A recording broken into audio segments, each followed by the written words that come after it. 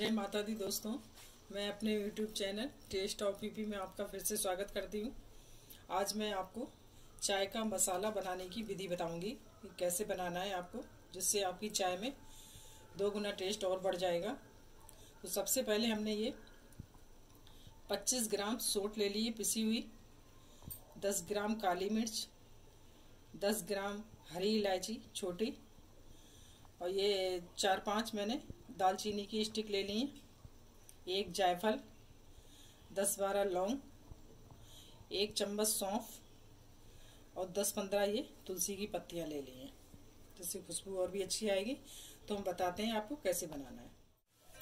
मैंने गैस पे ये फ्राई पैन गर्म कर लिया एक मिनट के लिए, फुल गैस पे। और हम गैस सिम कर देते हैं और ये मसाले भून लेते हैं। ये सौंफ डाल दी मैंने।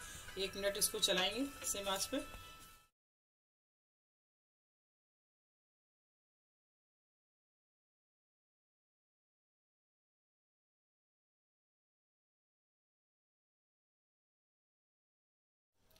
गैस हमने बंद कर दी है। तो ये लास्ट में ये सौट रह गई।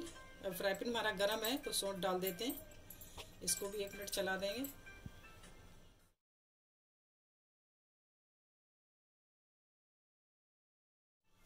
ये सारे मसाले देखिए, हमने इस तरह से एक एक मिनट भून लिए थे सिम आँच पे। और ये गैस बंद करने के बाद हमने सौंठ और तुलसी की पत्ती भी डाल दी थी इसमें। तो इसमें ये सारे मसाले डाल देते हैं हम।